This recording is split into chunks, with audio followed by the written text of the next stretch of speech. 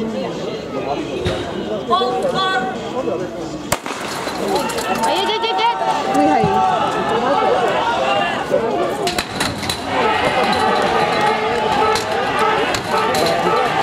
v čele tedy Kamil Bezruč, třetí dráha, potvrzuje roli favorita.